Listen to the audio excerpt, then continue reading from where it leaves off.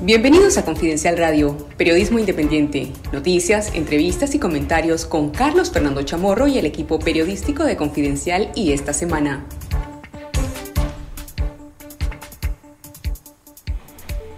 Hola, bienvenidos a una nueva edición de Confidencial Radio. Gracias a quienes nos sintonizan a través de nuestro canal de Spotify y en Facebook Live y en Radio Corporación y que nos ven también en nuestro canal de YouTube Confidencial Nica. Les saluda Elmer Rivas y damos inicio a esta hora de información, análisis y comentarios con lo mejor del periodismo independiente de Confidencial.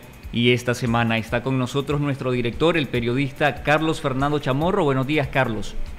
Buenos días, Elmer, y un saludo a toda nuestra audiencia a través de Radio Corporación. Estamos en Confidencial Radio, como todos los jueves, con lo mejor del periodismo investigativo de Confidencial y esta semana para comentar las noticias de mayor impacto en Nicaragua esta semana, empezando por la tragedia de un niño nicaragüense migrante de 10 años que fue encontrado perdido en una zona desértica de Texas, cerca de la frontera con México. Eh, de manera casual lo encontró un agente de la Policía Fronteriza Norteamericana exactamente Hace una semana eh, las autoridades de Estados Unidos afirman que este niño no estaba acompañado eh, de parte de sus padres o de sus familiares, sino que viajaba con un grupo de migrantes. Aparentemente se quedó dormido mientras hicieron una pausa en el camino y los coyotes que coordinaban el tránsito de estos migrantes lo dejaron abandonado. Esta es la versión de las autoridades norteamericanas que se publica hoy en Confidencial. El niño está en un centro de detención de menores, centros que son bastante hacinados, hay posiblemente centenares de otros niños, mientras se intenta localizar a sus familiares que presuntamente están en Estados Unidos. El drama de este niño simboliza esta crisis que afecta a decenas de miles de migrantes centroamericanos y nicaragüenses. Se calcula que hay por lo menos 18 mil niños en esta condición. El gobierno del presidente Biden anunció al tomar posesión que una de sus primeras medidas sería reconectar a estos niños con sus familiares, pero bueno, desde que Biden llegó al gobierno también ha incrementado la migración y ha incrementado eh, la presencia de niños en muchos casos sin estar acompañados de sus padres en esta situación. Desde hace dos años también aumentó el número de nicaragüenses que intentan eh, llegar a Estados Unidos, solicitar asilo. Por lo menos 14 mil nicaragüenses fueron detenidos intentando ingresar a este país en el año 2019. Hablaremos también sobre lo que dejó la Semana Santa. Por un lado, la preocupación latente en los médicos especialistas, los epidemiólogos, sobre el impacto que podría tener las aglomeraciones masivas que se vieron en los balnearios, en las playas, en distintos lugares, miles de personas sin recurrir a medios de protección frente a la pandemia de la COVID-19. Y por otro lado, mientras ocurría esto, también se produjo un reforzamiento del Estado policial eh, asediando las casas de líderes opositores, de excarcelados, de familiares de presos políticos. Pareciera que el aniversario de la rebelión de abril, que se conmemora el próximo domingo 18 de abril, lunes 19 de abril, dentro de 10, 12 días, prácticamente ya empezó el Estado, ya empezó la dictadura a ejercer y a reforzar sus mecanismos de presión de manera anticipada desde la Semana Santa. También vamos a hablar del plan de vacunación de la COVID-19 que empezó oficialmente el martes pasado. Hay una demanda nacional de conocer a fondo los detalles del plan de vacunación. Hay poca información y la gente quiere saber y entender por qué en algunos hospitales y centros de salud donde se está llevando a cabo la vacunación se han generado largas esperas largas colas y también aglomeraciones de personas frente a una actividad sobre la que se presume el Ministerio de Salud debió haberse preparado y tiene una larga experiencia, no de un año, sino de décadas, en materia de organizar las vacunaciones. En el ámbito político, cuando faltan siete meses para las elecciones del 7 de noviembre, no hay ninguna señal de reforma electoral, tampoco han sido invitadas ninguna de las misiones internacionales de observación de la OEA, de la Unión Europea, de la ONU o del Centro Carter. Y lo único que se sabe es que el Consejo Supremo Electoral, controlado por el Frente Sandinista desde los magistrados de la cúpula hasta la Junta eh, receptora de votos, se encuentra acéfalo desde que renunció el magistrado, o lo renunciaron a Roberto Rivas, asumió de manera interina su rol Lumberto Campbell como presidente en funciones del Consejo Electoral. Campbell está retirado del Consejo desde hace varios meses por su condición de salud y lo que se sabe es que el Frente Sandinista está barajando fichas para realizar un, un posible relevo que a final de cuentas apunta a mantener el control político del Consejo Supremo Electoral. Y por último, hablaremos también de la noticia política de la semana, el octavo candidato presidencial de la oposición, Medardo Mairena, que finalmente se postuló de manera oficial ayer por el movimiento campesino.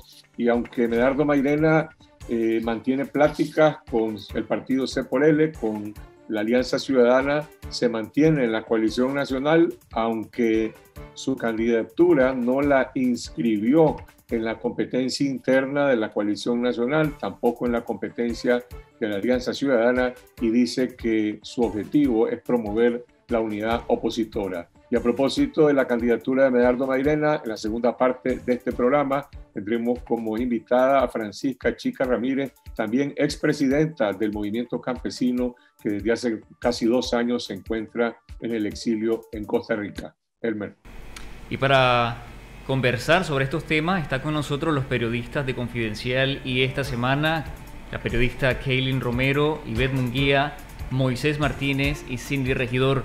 Pero antes de entrar en debate sobre los temas que mencionaba Carlos Fernando, les invito a la audiencia que nos escuche en este momento a escribirnos, a enviarnos sus mensajes, sus comentarios y sus preguntas a la línea de WhatsApp 8252 4383.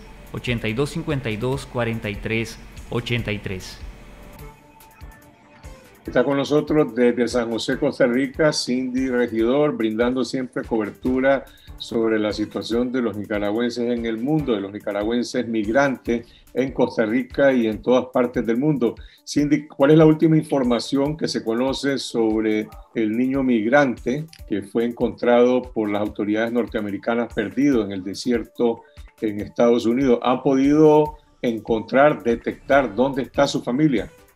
Buenos días, Carlos Fernando, a mis colegas y a la audiencia que nos acompaña en Radio Corporación. Hasta el momento no estamos seguros de que ya el niño esté con sus familiares.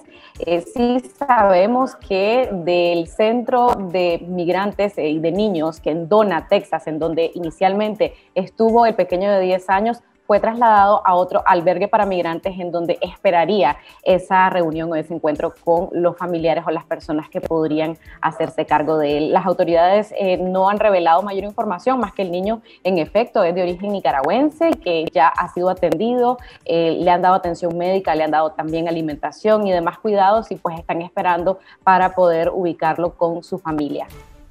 Este no es un caso aislado, se habla mucho de los niños en centros de detención. Eh, ¿Cuántos niños hay? Todos estos niños son centroamericanos. ¿Se sabe cuántos nicaragüenses hay? Hay muchos niños mexicanos y la mayoría centroamericanos son de Guatemala, El Salvador y Honduras. También hay niños nicaragüenses. Solo en el centro en el que estuvo este niño nicaragüense, en la ciudad de Dona, en Texas, habían 4.000 niños hacinados. Tenían que incluso tomar turnos para poder dormir en colchonetas en el piso. Una situación sumamente precaria que se replica en diferentes centros de detención a lo largo de la frontera. Eh, hay una crisis humanitaria, como lo ha dicho Carlos Fernando, y eh, esto se ha producido a partir de que el presidente Joe Biden eh, hizo que las políticas migratorias fueran un poco más relajadas en cuanto a eh, la expulsión de los niños no acompañados. Biden en febrero dijo no vamos a expulsar inmediatamente a los niños y menores no acompañados y por tanto eso al parecer ha motivado sobre todo a los coyotes a animar a los migrantes padres a que manden a sus hijos solos.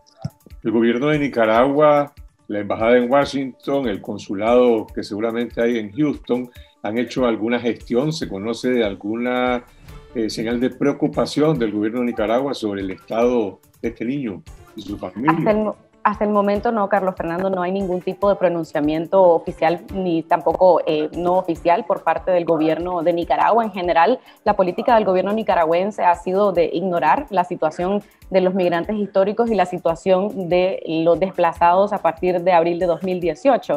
Lo único que el gobierno anuncia en cuanto a cifras son las personas que supuestamente han regresado después de la pandemia, pero hablan muy poco o nada de los migrantes que están pasando situaciones extremas, como el caso de este niño eh, de 10 años. Los que sí están haciendo eh, en cuanto a la gran crisis migratoria que hay ahí en la frontera sur de Estados Unidos, pues es el gobierno de Biden. Ayer varios oficiales, varios funcionarios de la administración dijeron que tienen un plan y parte de ese plan es pues ampliar el número de camas, ampliar el número de centros y también buscar cómo conectar lo más rápido posible a los niños migrantes con sus familiares en Estados Unidos. Cindy, este lunes se reabrió el tránsito terrestre, eh, la frontera de Costa Rica con Nicaragua. En ese momento todavía no estaban otorgando visa los consulados de Managua y de Chinandega, pero ayer cambiaron la seña, los costarricenses dijeron vamos a reabrir eh, los consulados. ¿Esto a qué obedece? ¿Está teniendo algún impacto en el movimiento en la frontera? ¿Hay, hay más eh, personas transitando hacia Costa Rica? Nosotros eh, sabemos que sí, la Cancillería pues, ha admitido que hay una reapertura de los servicios consulares para otorgar visas en Managua y en Chinandega, sin embargo, no han brindado mayor información sobre cuál va a ser el proceso. Anteriormente nos habían dicho a Confidencial que la razón por la cual todavía no estaban abiertos los consulados era porque no había la capacidad en medio de la COVID-19, los, los, cónsules no estaban vacunados y había eh, la posibilidad de que se dieran aglomeraciones muy grandes. Nuestro colega Vladimir Vázquez se presentó al consulado de Managua nos dijo que no vio aglomeraciones. En este caso, al parecer, están eh, únicamente atendiendo por cita previa y con un número controlado. Seguimos a la espera de lo que nos dirá Cancillería sobre cuál va a ser este protocolo por el cual los nicaragüenses van a poder aplicar a una visa de turismo. Gracias, Cindy. Vamos al tema de la pandemia en Nicaragua y la vacunación que empezó a ejecutarse de manera más amplia, masiva desde el martes de esta semana. Kevin Romero estuvo en algunos de los hospitales y centros de salud donde se inició la vacunación. La crónica que publicaste en Confidencial describe eh, largas esperas, eh, colas y aglomeraciones. ¿Dónde ocurrió esto, Kaylin, y qué dice la población sobre el servicio de vacunación?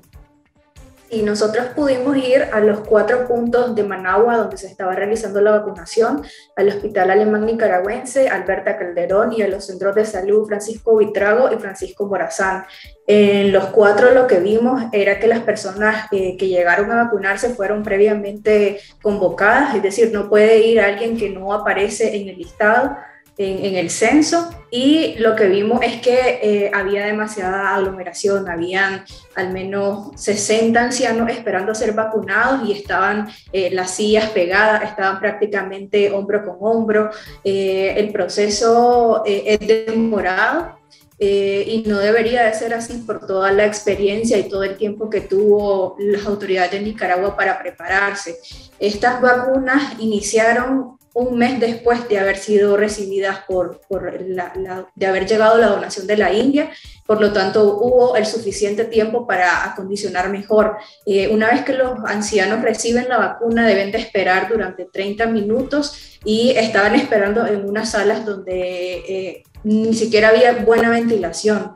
O sea, y vemos las experiencias de otros países que están sillas de por medio, que están en un espacio ventilado, pero aquí no, no ocurrió nada de eso. Y lo que tememos y que puede suceder es que se propaguen la COVID-19 en este grupo vulnerable. la vacuna es un derecho de salud pública, es un derecho universal.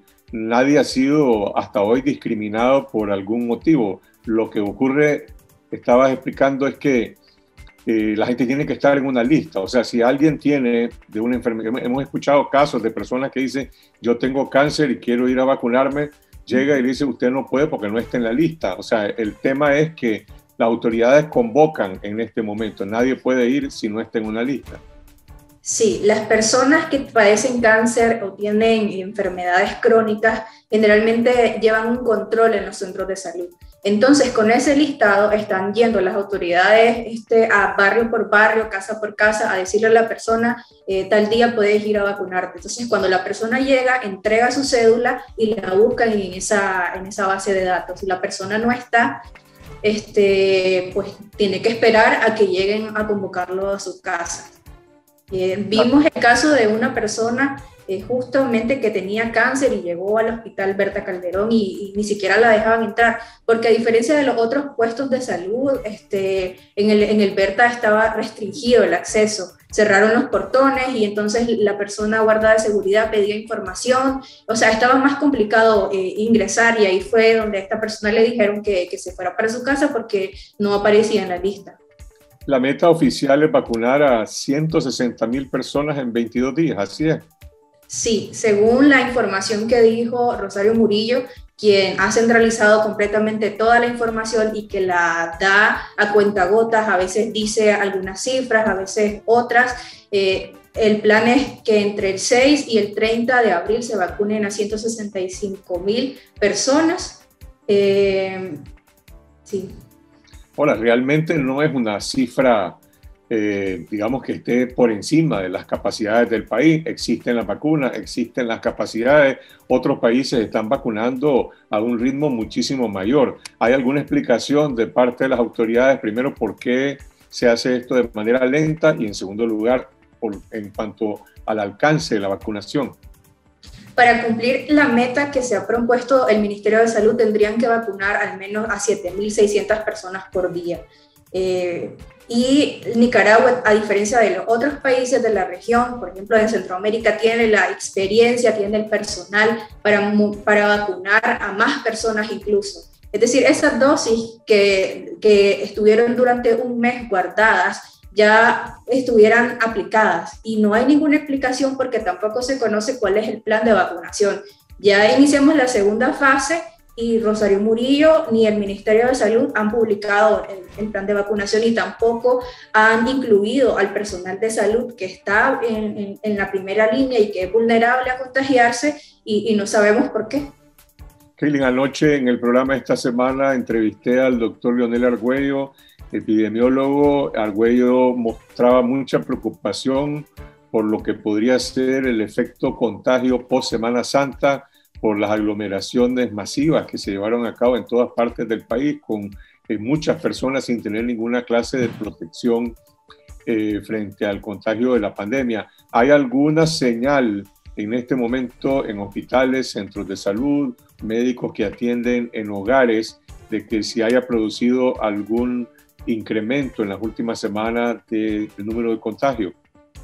Nosotros consultamos con varios médicos a nivel eh, nacional, en Masaya, en León, en Managua, y lo que nos decían es que de momento eh, hay poca afluencia de, de, pacientes, pero tras la Semana Santa, que según los datos oficiales se movilizaron más de 3 millones de personas, es probable que en las próximas dos semanas veamos este, picos más fuertes y a lo mejor, en, el peor de los casos, no, no, sean como los ocurridos en mayo del año pasado, que, que vimos que también surgieron tras Semana Santa. Gracias, Kaylin. Vamos al tema político con Moisés Martínez e Ivette Munguía. Moisés, tu investigación sobre eh, la opacidad del Consejo Supremo Electoral dice que se está cocinando a fuego lento una reforma electoral ajustada a los parámetros y a los intereses del Frente Sandinista y que también se está bajando un relevo,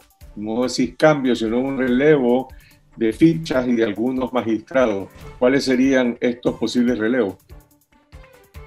Bueno, nosotros, bueno, hay que mantener, este, hay que dejar claro que existe muy poca información de parte del régimen sobre este proceso.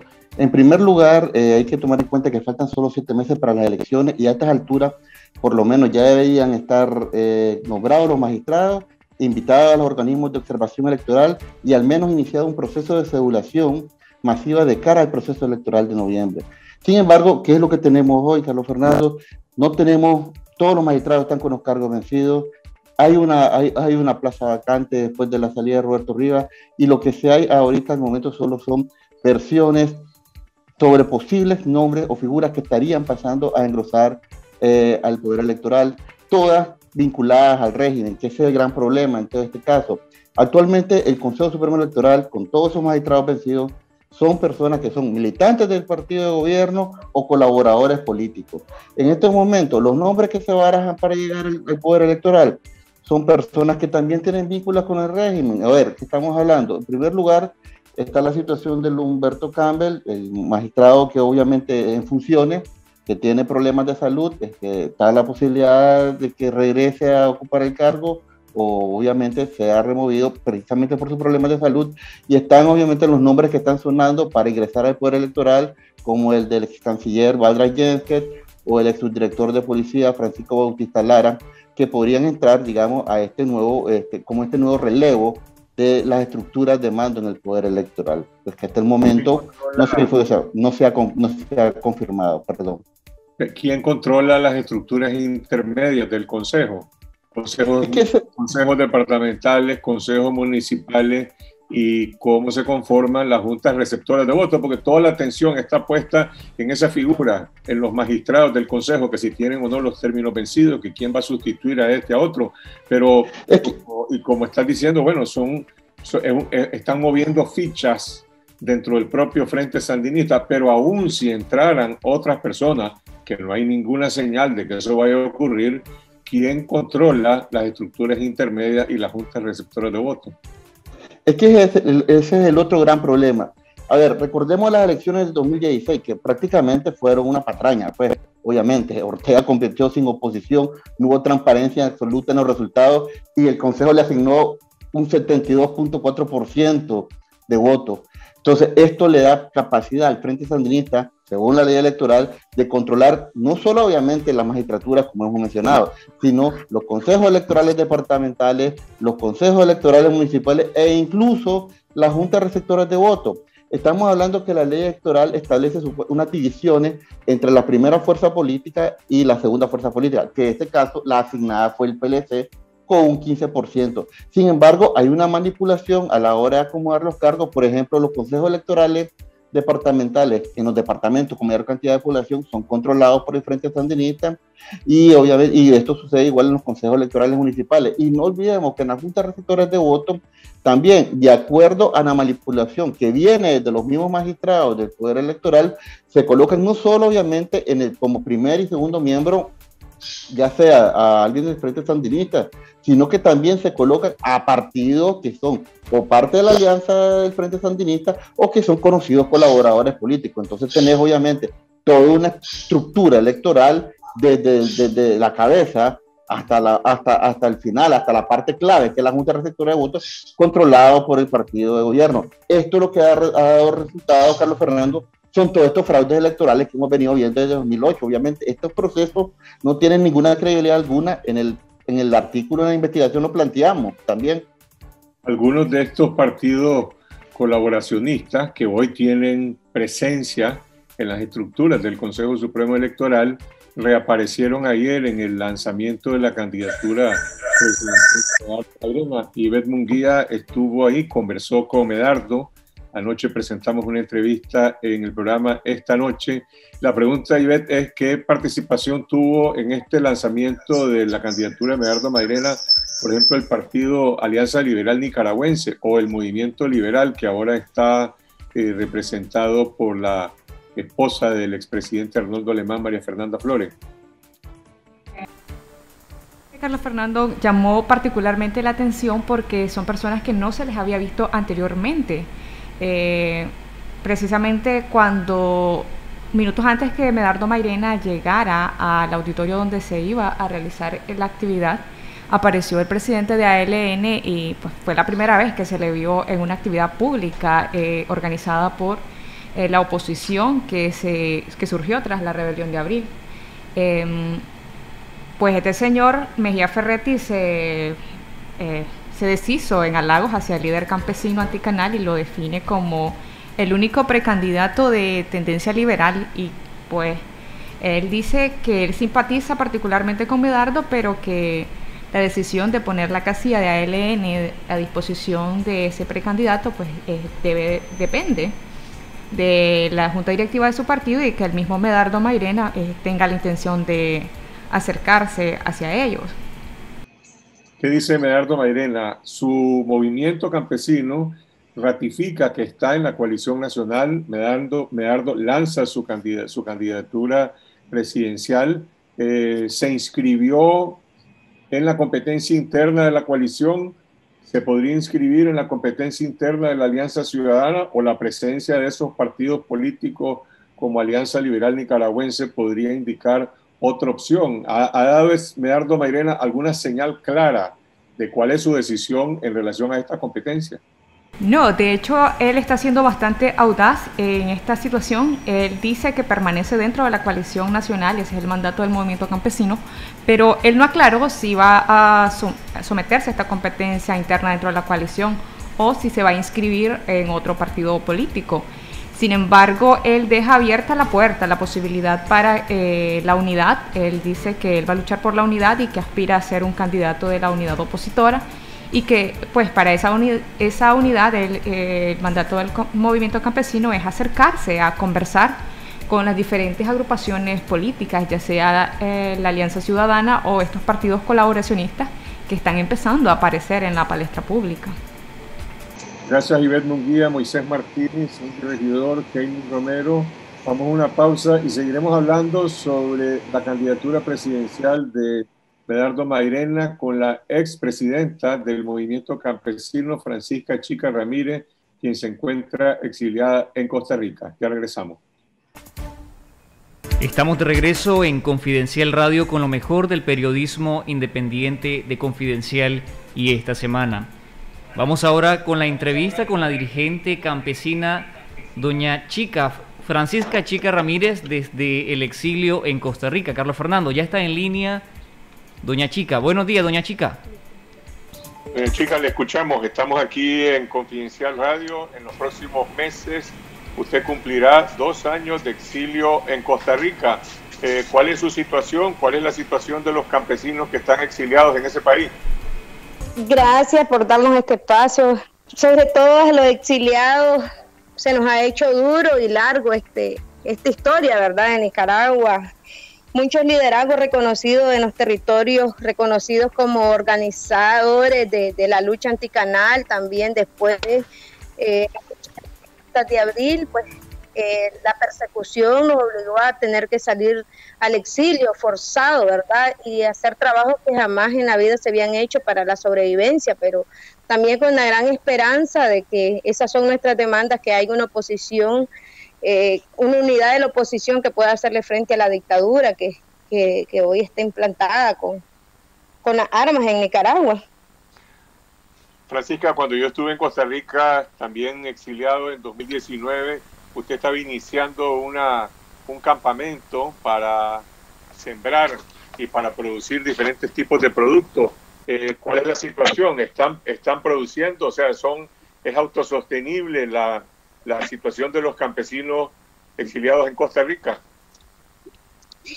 Bueno, como saben, verdad, fue toda la vida de eh, explicarles que para los campesinos no podíamos desempeñar otro otro trabajo que no fuera trabajar la tierra. Para nosotros no nos podemos acostumbrar ir a buscar la yuca al supermercado, no nos podemos acostumbrar a vivir limitado porque los campesinos nos caracterizamos por, tener una solidaridad. Pues. Entonces, esto nos obligó a buscar alguna alternativa de alquilar, rentar algunos terrenos y, rentamos esos terrenos para poder sembrar y, poder tener la alimentación pues que, deseábamos tener o que los limitaba en esos momentos a ver muchas personas. Buscamos alguna, eh, pues a la misma raíz de la necesidad de la crisis humanitaria que había, pues acompañarnos con otros campesinos y, ha sido exitoso, pues no, no exitoso económicamente, pero exitoso a la sobrevivencia, pues se ha podido garantizar alimentación para la, para la sobrevivencia diaria que tenemos las familias que estamos aquí en Costa Rica.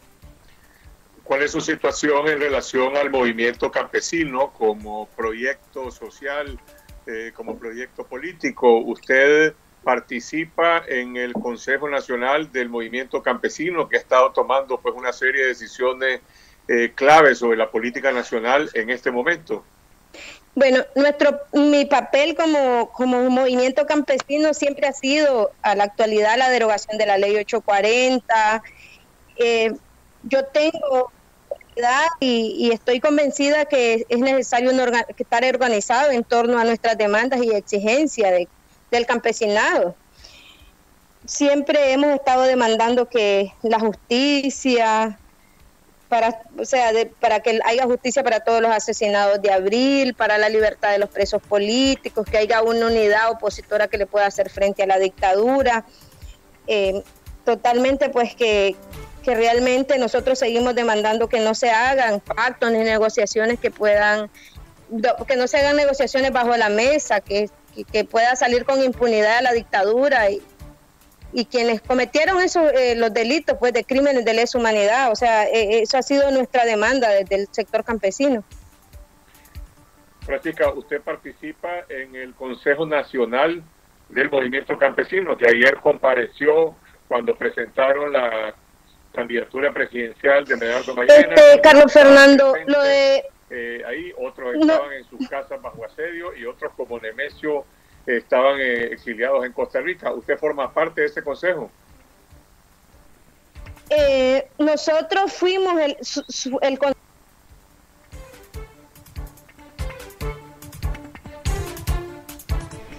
Tenemos problemas de comunicación con doña Francisca Chica Ramírez, que se encuentra desde el exilio en Costa Rica. Continuamos acá en Confidencial Radio. Hemos tenido problema para retomar la comunicación con eh, Francisca Ramírez desde el exilio. Eh, bueno, está con nosotros acá en cabina Ivette Munguía. Ivette, eh, Medardo Mairena lanzó ayer su precandidatura presidencial a propósito que íbamos a conversar también con, con Doña Chica eh, hay conversaciones que ha tenido, en este caso Medardo, ya con C por L, acercamientos que aparentemente, eh, no sé si ha molestado entre el acercamiento que la coalición no ha podido tener con C por L. ¿De qué han hablado, qué ha dicho Medardo sobre este tema? Bueno, él es bien redundante, eh, siempre redunda en torno al tema de la unidad. Cabe destacar que estas dos agrupaciones políticas tienen las mismas, las mismas intenciones, el mismo objetivo que es sacar a Ortega del poder, pero por algunas razones eh, no se han logrado poner de acuerdo.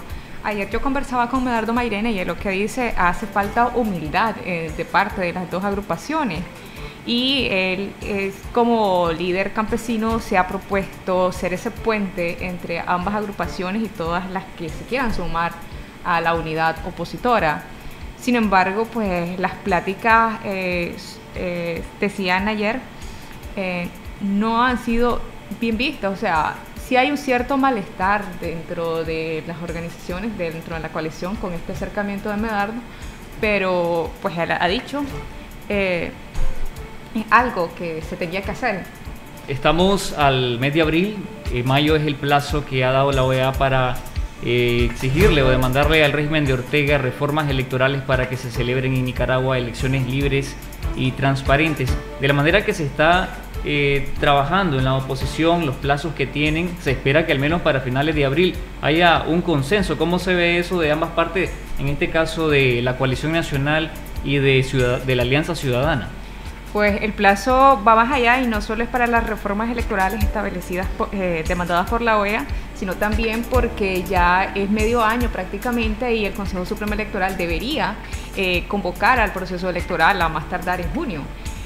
sin embargo, el tema del acercamiento está no pasa de las buenas intenciones. Esta semana también se conoció eh, un intercambio de cartas entre el Partido Ciudadanos por la Libertad y el Partido Restauración Democrática, que son los que tienen las personerías jurídicas, tanto en la Alianza Ciudadana como en la Coalición Nacional. Sin embargo, eso no fue más allá del intercambio de cartas y las buenas intenciones. Em, siempre eh, el punto que está generando ese, esa barrera entre esas dos agrupaciones, entre ese acercamiento entre el CEPOREL y el PRD, es que no logran ponerse de acuerdo en cuanto a la participación como garante de la Comisión de Buena Voluntad. Por un lado, pues eh, ya lo ha dicho desde que fue creada prácticamente la Comisión de Buena Voluntad, que ellos no le ven eh, la razón, eh, el propósito de que haya una comisión de buena voluntad si la voluntad la tienen que mostrar las agrupaciones políticas. Sin embargo, el PRD ah, insiste en la presencia de esto, esta comisión de buena voluntad y por lo que se ha visto, pues ninguno de las dos agrupaciones ha, flexibilizado sus posturas en favor de la unidad. Y mientras eso no pase, mientras no cedan, no haya alguien que, que ceda un poco, eh, no, no se va a avanzar en el proceso de unidad. Bien, le invitamos a usted que nos escucha a seguir de cerca esta cobertura política, también la cobertura de la pandemia y toda la cobertura de confidencial.com.ni. De esta manera llegamos al fin de esta edición especial de Confidencial Radio. Espere la edición especial cada jueves a las 11 de la mañana a través de Radio Corporación y en Spotify. Y también más adelante, en el noticiero 12 en punto de Radio Corporación, espere las noticias de que han marcado la jornada en Nicaragua. Y les invito también a que si desean recibir todos los días información verificada con las alertas noticiosas de Confidencial, los invitamos a suscribirse de forma gratuita al número de WhatsApp 8577 1820. Lo único que tienen que hacer es registrar el número 8577 1820 entre sus contactos y nos envían un mensaje con la palabra suscribirme y de inmediato quedarán suscritos para recibir nuestras alertas. Les invitamos también a buscarnos a través de las redes sociales. Estamos en Facebook, en Instagram y en Twitter para seguir lo mejor de nuestra cobertura. Gracias por sintonizarnos, los esperamos el próximo jueves, siempre en Radio Corporación a las 11 de la mañana. Que tengan un buen día. Esto fue Confidencial Radio, de lunes a viernes a las 12.30 del mediodía y los jueves una edición especial a las 11 de la mañana. Escuche nuestros podcasts en Spotify y visítenos en confidencial.com.ni con el mejor periodismo investigativo.